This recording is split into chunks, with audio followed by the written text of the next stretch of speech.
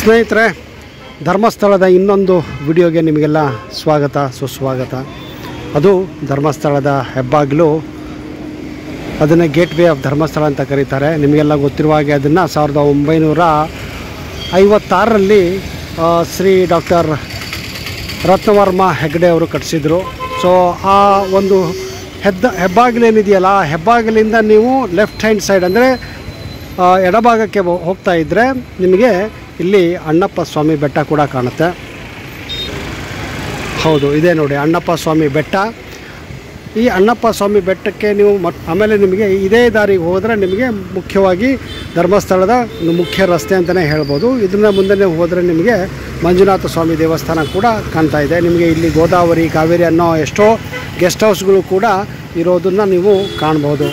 ಮೊದಲು ಯಾರ್ಯಾರು ಧರ್ಮಸ್ಥಳಕ್ಕೆ ಬರ್ತಿರೋ ಅವರು ಕಂಪಲ್ಸರಿಯಾಗಿ, ಖಂಡಿತವಾಗಿಯೂ ತಪ್ಪದೇ ಅದರಲ್ಲೂ ಗಂಡಸರು.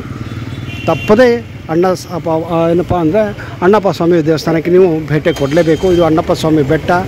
ಒಂದು ವಿಶೇಷತೆ ಏನಂತ ಅಂದರೆ ಈ ದೇವಸ್ಥಾನದಲ್ಲಿ ಕೇವಲ ಗಂಡಸರಿಗೆ ಮಾತ್ರ ಅಲವಿದೆ ಗಂಡಸರಿಗೆ ಮಾತ್ರ ಅಲವಿರೋದು ಹೆಣ್ಣು ಮಕ್ಕಳಿಗೆ ಮತ್ತು ಚಿಕ್ಕ ಮಕ್ಕಳಿಗೆ ಇಲ್ಲಿ ಅಲವಿಲ್ಲ ನಿಮಗೆ ಇಲ್ಲಿ ತೋರಿಸ್ತೀನಿ. ಇಲ್ಲಿ ಬರೆದಿದ್ದಾರೆ. ನೋಡಿ.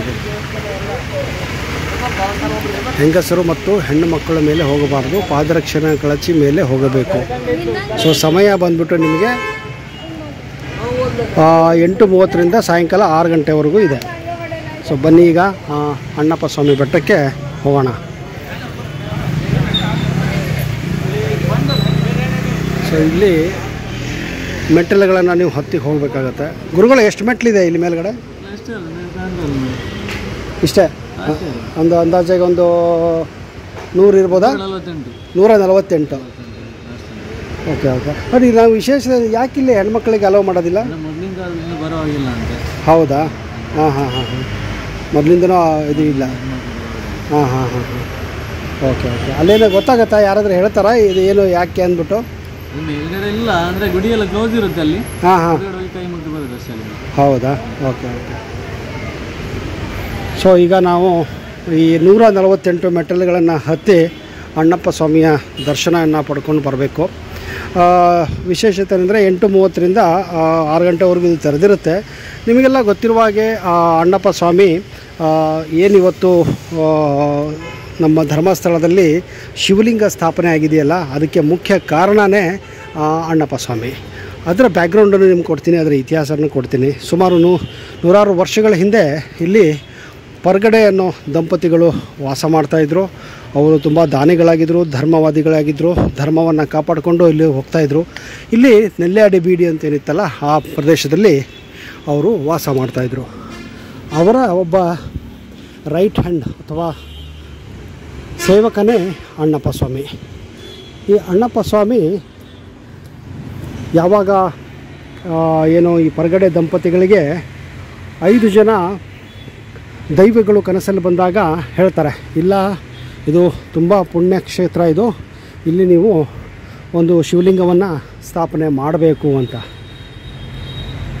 ಆಗ ಕನಸಲ್ಲಿ ಬಂದಂತಹ ದೈವಗಳನ್ನು ಅವರ ಇಚ್ಛೆಯಂತೆ ಇಲ್ಲಿ ಧರ್ಮಸ್ಥಳದಲ್ಲಿ ಶಿವಲಿಂಗ ಸ್ಥಾಪನೆ ಮಾಡಬೇಕು ಅಂತ ಹೊರಗಡೆ ದಂಪತಿಗಳು ನಿರ್ಧಾರ ಮಾಡ್ತಾರೆ.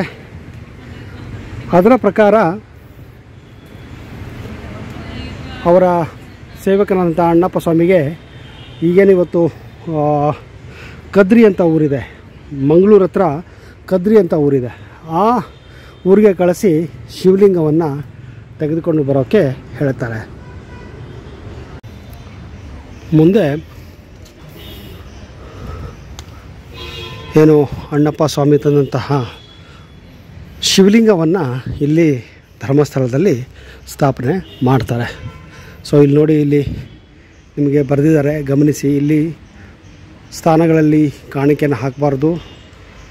ಇನ್ನು ಯಾವುದು ಸ್ವ- ಸ್ವಚ್ಛತೆಯನ್ನು ಕಾಪಾಡಿಕೊಳ್ಬೇಕು. ಅಶುಚಿಗೊಳಿಸಬಾರದು. ಗುಡಿಯ ಮೆಟ್ಟಲು ಹತ್ತಬಾರದು. ಮರದ ಬಾಗಿಲುಗಳಲ್ಲಿ ಕರ್ಪೂರ ಹಚ್ಚಬಾರದು. ಹೊಗೆ ಬತ್ತಿ ಸೇರಬಾರದು. ಎಲ್ಲೆಲ್ಲಿಯೂ ಮಲಗಬಾರದು. ಫೋಟೋ ತೆಗೆಯಬಾರದು. ರೇಡಿಯೋ ಇಡಬಾರದು ಅಂತ ಇಲ್ಲಿ ಎಲ್ಲ ಬರೆದಿದ್ದಾರೆ. ಇದು ಅಣ್ಣಪ್ಪ ಸ್ವಾಮಿಯ ದೇವಾಲಯ ಇಲ್ಲಿ ಇರೋದು. ಹೆಚ್ಚು ಕಡಿಮೆ ನನಗೆ ಇದನ್ನೆಲ್ಲ ನೋಡ್ತಾ ಇದ್ದರೆ ಕೇರಳದ ಮಾದರಿಯಲ್ಲಿ ದೇವಸ್ಥಾನಗಳನ್ನು ಕಟ್ಟಿದ್ದಾರೆ ಅನಿಸುತ್ತೆ. ಇದು ನೋಡಿ, ಶಿವಲಿಂಗದ ಒಂದು ರೂಪ ಇದು. ಕಾಣಿಕೆ ಕೂಡ ಹಾಕಬಾರ್ದು ಅಂತ ಹೇಳಿದ್ದಾರೆ. ತುಂಬ ಸ್ವಚ್ಛವಾಗಿ ಇದನ್ನು ಮೇಂಟೈನ್ ಮಾಡಿದ್ದಾರೆ. ನೋಡಿ ಇದು. ಬಾಗಿಲುಗಳನ್ನು ತೆಗೆದಿಲ್ಲ ಇಲ್ಲಿ ಯಾವುದು ದೇವಸ್ಥಾನದ್ದು. ಪವಿತ್ರ ಸ್ಥಳದಲ್ಲಿ ಯಾರೂ ಮಲಗಬಾರ್ದು. ನನಗನ್ಸುತ್ತೆ ಇಲ್ಲಿ ಮೊದಲು ಜನ ಬಂದುಬಿಟ್ಟು ಮಲಗ್ತಿದ್ರೆ ಕಾಣುತ್ತೆ. ಆರಾಮವಾಗಿ ಬೆಟ್ಟದ ಮೇಲೆ ಇದೆ. ತಂಪಾಗಿದೆ ಅಂದ್ಬಿಟ್ಟು ಇಲ್ಲಿ ನೋಡಿ ಇದು ಒಳ್ಳೆ ಜಾಗ ಅಲ್ವಾ? ಬಂದುಬಿಟ್ಟು ಮಲ್ಕೊತಿದ್ರು ಕಾಣುತ್ತೆ. ಏನಾದರೂ ಇಲ್ಲೂ ಹೀಗೆ ಜಾಗ ಇರೋದರಿಂದ ಫ್ಯಾನುಗಳನ್ನ ಬೇರೆ ಹಾಕ್ಬಿಟ್ಟಿದ್ದಾರೆ. ಹೀಗಾಗಿ ಜನಗಳು ಮಲಗ್ತಿದ್ರು ಅಂತ ಅನ್ಕೊತೀನಿ. ಅದಕ್ಕಾಗಿ ಇಲ್ಲಿ ಬರೆದಿದ್ದಾರೆ ಆ ಥರ. ಇವೆಲ್ಲ ನೋಡಿ ಇವೆಲ್ಲ ವೀರಗಲ್ಲುಗಳು, ದೇವರ ಕಲ್ಲುಗಳು, ಚಿಕ್ಕ ಚಿಕ್ಕ ದೇವಸ್ಥಾನ ತುಂಬ ಇದೆ ಇಲ್ಲಿ. ಎಲ್ಲ ಒಂಥರ ಇಲ್ಲಿ ನಿಮಗೆ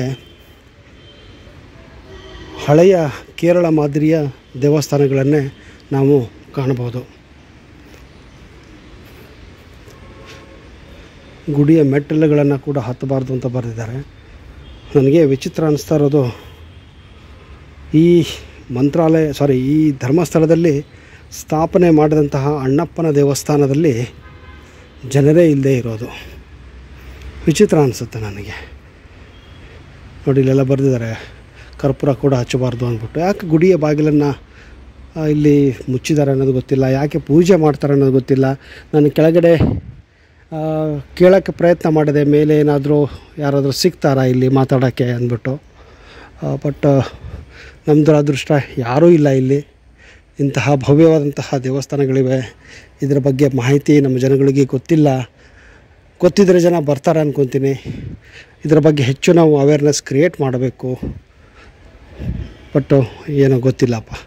ಯಾಕೆ ನಾವು ದೇವಸ್ಥಾನದ ಎದುರುಗಡೆ ಇರುವಂತಹ ದೇವಸ್ಥಾನದಲ್ಲಿ ಇನ್ನೊಂದು ಇಲ್ಲಿ ಯಾರೂ ಬರೋದಿಲ್ಲ ಅಂದರೆ ಒಂಥರ ನನಗೆ ವಿಚಿತ್ರ ಅನಿಸುತ್ತೆ. ಯಾವುದಕ್ಕೂ? ನಮ್ಮ ವಿಡಿಯೋ ಮೂಲಕ ಆದರೂ ನೀವು ಅಣ್ಣಪ್ಪ ಬೆಟ್ಟ ನೋಡಿದ್ದೀರಾ? ಅಣ್ಣಪ್ಪ ಸ್ವಾಮಿ ಮಂದಿರಗಳನ್ನು ನೋಡಿದ್ದೀರಾ? ಇನ್ಮೇಲಾದರೂ ನೀವೇನಾದರೂ ಇಲ್ಲಿ ಬಂದಾಗ ಈ ಅಣ್ಣಪ್ಪ ಬೆಟ್ಟಕ್ಕೆ ಬಂದುಬಿಟ್ಟು ಈ ದೇವಸ್ಥಾನಗಳಿಗೆ ಭೇಟಿ ಕೊಡ್ಬೋದು ಅಂತ ನನ್ನ ಅನಿಸಿಕೆ. ನಿಮಗೆ ಈ ವಿಡಿಯೋ ಹೇಗೆ ಅನ್ನಿಸ್ತು ದಯವಿಟ್ಟು ಕಮೆಂಟ್ ಬಾಕ್ಸಲ್ಲಿ ಹಾಕಿ. ನಿಮಗೆ ಅಣ್ಣಪ್ಪನ ಇನ್ನಷ್ಟು ವಿಚಾರಗಳನ್ನು ಬರುವ ಸಂಚಿಕೆಯಲ್ಲಿ ಕೊಡ್ತೀನಿ. ಇಲ್ಲಿ ನೋಡಿ, ಇಲ್ಲಿ ಮೆಟಲ್ಗಳಲ್ಲಿ ಯಾವ ಥರ ಜನ ಕೂತ್ಕೊಂಡಿದ್ದಾರೆ ಅಂದರೆ ಆರಾಮ್ ಮಾಡೋಕ್ಕಾಗಿದೆ. ಮೇನ್ ರೋಡಲ್ಲಿ ಕಾಣ್ತಾ ಇದೆ ನೋಡಿ ನಿಮಗೆ. ಅದೇ ಹಂಗೆ ನಿಮಗೆ ಲೆಫ್ಟ್ ಹ್ಯಾಂಡ್ ಸೈಡ್ ಹೋದರೆ ಮಂಜುನಾಥ ದೇವಸ್ಥಾನ ಇರೋದು. ಬನ್ನಿ. ಸೊ ಇನ್ನು ಮುಂದಿನ ವಿಡಿಯೋದಲ್ಲಿ ನಾವು, ಆ, ಧರ್ಮಸ್ಥಳದ ಇನ್ನೊಂದು ಐತಿಹಾಸಿಕ ಜಾಗದ ಬಗ್ಗೆ, ಪುಣ್ಯಕ್ಷೇತ್ರದ ಬಗ್ಗೆ ಇನ್ನಷ್ಟು ಮಾಹಿತಿಯನ್ನು ನಿಮಗೆ ಕೊಡ್ತಾ ಹೋಗ್ತೀನಿ. ಅಲ್ಲಿವರೆಗೆ ಜೈ ಮಂಜುನಾಥ.